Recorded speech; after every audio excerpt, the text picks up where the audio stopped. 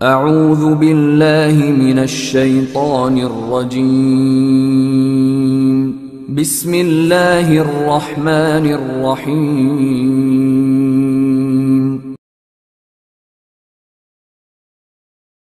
آنکھ دنیا کی ہر ایک چیز دیکھتی ہے، مگر جب آنکھ کے اندر کچھ چلا جائے تو اسے نہیں دیکھ پاتی۔ بالکل اسی طرح انسان دوسروں کے عیب تو دیکھتا ہے۔